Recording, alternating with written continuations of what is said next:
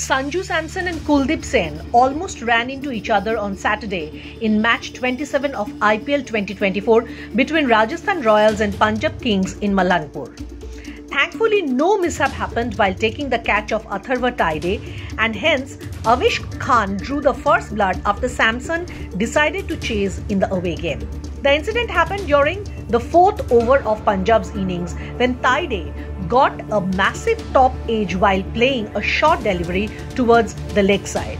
Despite the fact that Samson called for it, Kuldeep placed at short third decided to grab the catch and eventually completed the task.